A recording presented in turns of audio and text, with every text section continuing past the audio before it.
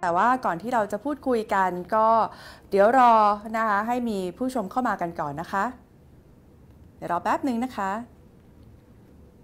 ค่ะช่วงนี้นะคะก็อาจจะมีข่าวคราวที่ทางฝั่งรัฐบาลเองก็มีการที่เตรียมพร้อมนะคะ ซักซ้อมการอภิปรายไม่ไว้วางใจนะคะไปเก็บตัวกัน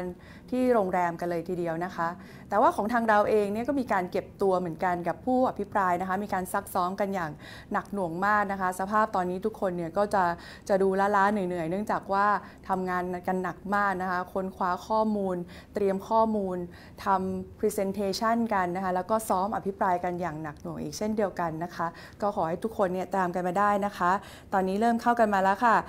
คุณ PK Man ค่ะ สวัสดีค่ะ คุณวานสวัสดีนะคะ คุณเรือรักกระดาษนะคะค่ะมาอยู่เป็นเพื่อนกันนะคะมาอยู่เป็นเพื่อนกันก่อนนะคะ ก่อนที่จะเริ่มพูดคุยกันนะคะ คุณทิติพรนี่คุณอาหรือเปล่า สวัสดีค่ะ สำหรับการอภิปรายไม่ไว้วางใจนะคะที่จะเกิดขึ้นตั้งแต่วันพรุ่งนี้ 16 กุมภาพันธ์เป็นต้นไปนะคะ ก็อยากให้ทุกคนเนี่ยมาร่วมกันติดตามนะคะสำหรับวันพรุ่งนี้นะคะจะมีผู้ขึ้นอภิปรายนะคะไฟแนลกันแล้วสดสดๆร้อนๆ เมื่อไม่กี่ชั่วโมงที่ผ่านมานะคะ จะมีคุณอมรัตโชคประมิตรกุลนะคะ คุณธีรัชชัย แล้วก็คุณพิจาร์นะคะ โดยที่จะ พุ่งประเด็นไปที่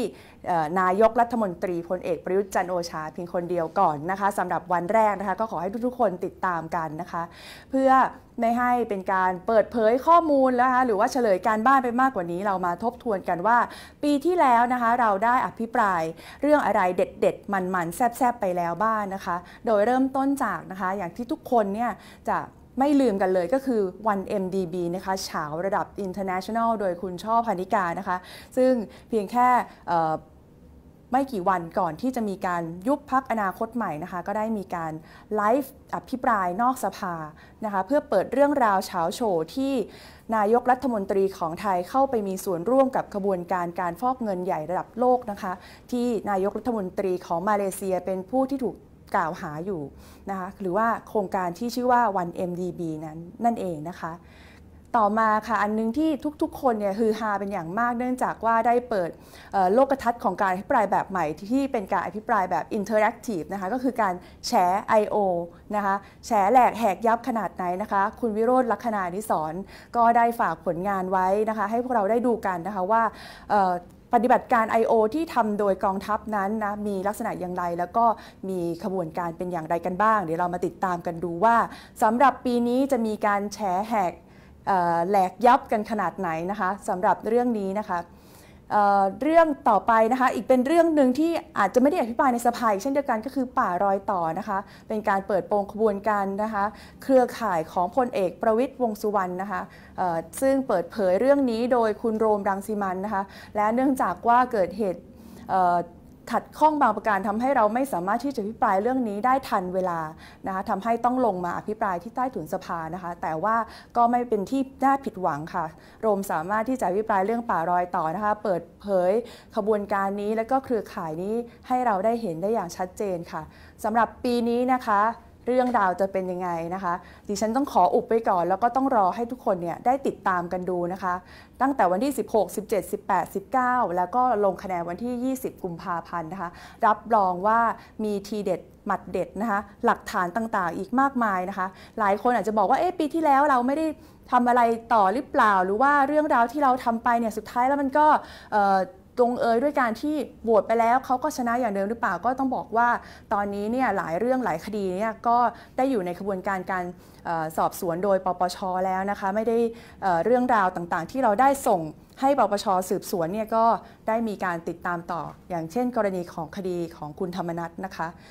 แล้วก็ปีนี้เนี่ยได้บอกเลยว่าหลักฐานเนี่ยมีหลักฐานเด็ดๆเผ็ดๆแน่นอนแบบที่กลางออกมาแล้วทุกคนเนี่ยก็ต้องอ ร้องโอ้โห กันเลยทีเดียวนะคะ แล้วก็จะไม่ทำให้ทุกท่านผิดหวังนะคะ ขอให้ทุกคนมาติดตามชมกันค่ะ มาดูข้อความกันบ้างนะคะ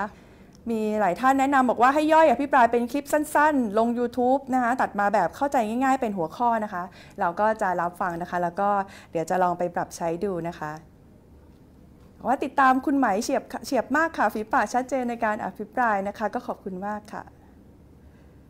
ว่าชอบครับคุณสิริกัญญาอภิปรายทีไรโดนใจทุกทีนะคะ ก็ขอให้ลองติดตามดูนะคะ ว่าครั้งนี้สิริกัญญาจะได้อภิปรายหรือเปล่านะคะ มีทีมบราวนี่มาด้วยนะคะ กลัวจะเจอประท้วงอย่างเดียวนะคะ รอบนี้ไม่ต้องกังวลเรื่องประท้วงนะคะ เพราะว่าเราได้ทีมได้ตั้งทีมประท้วงผู้ประท้วงไว้เรียบร้อยแล้วนะคะนำทีมโดยคุณนัทวุฒินะคะ จะเป็นผู้ที่คอยจะมาปกป้องผู้อภิปรายนะคะ ไม่ให้โดนดึงความสนใจโดยผู้ประท้วงที่ ซึ่งก็มักจะประท้วงด้วยเหตุผลที่มันไม่ไม่เป็นความจริงหรือว่าเป็นการทำลายสมาธิของผู้อภิปรายค่ะโหวตแพ้นะคะ ก็ จริงๆ แล้วเนี่ยการพิปรายไม่ไว้วางใจ คนแรกที่เราอยากที่จะสื่อสารถึงก็คือประชาชนค่ะ ถึงแม้ว่ารัฐบาลเนี่ยจะมีเสียงมากลากไปนะคะ แล้วก็ทำให้สุดท้ายแล้วรัฐมนตรีบางคนอาจจะรอดนะคะ แต่ว่ายังไงเนี่ยเป็นการที่จะ พักของพรรคก้าวไกลเองเนี่ยจะฟ้องประชาชนว่าเรื่องแบบนี้เกิดขึ้นได้ยังไง และท่านยังคงจะไว้วางใจคณะรัฐมนตรีต่อไปหรือไม่นะคะ ถึงแม้ว่าเสียงในสภาเราอาจจะมีไม่พอ ที่จะทำให้ทุกคนที่เราอภิปรายลงจากเก้าอี้ได้นะคะเราก็หวังว่าบางคนต้องหลุดแน่นอนนะคะ แล้วก็ประชาชนต้องได้มีส่วนร่วมรับรู้เรื่องนี้ค่ะทุกคนก็ติดตามกันตลอดนะคะ บอกว่าที่ผ่านมารอบที่แล้วทำดีมาก แล้วก็เป็นกำลังใจให้นะคะ พรุ่งนี้เริ่ม 9 โมงเช้าเป็นต้นไปนะคะค่ะก็ถ้าไม่มีท่านใดมีคำถามเพิ่มเติมนะคะ ก็ขอให้ร่วมติดตามกันนะคะ การอภิปรายไม่วางไม่ไว้วางใจนะคะ เป็นซีซั่น2 ของเออพักก้าวไกลนะคะ ก็ขอให้ทุกคนติดตามตั้งแต่วันที่ 16 กุมภาพันธ์เป็นต้นไปค่ะ ขอบคุณค่ะทุกคน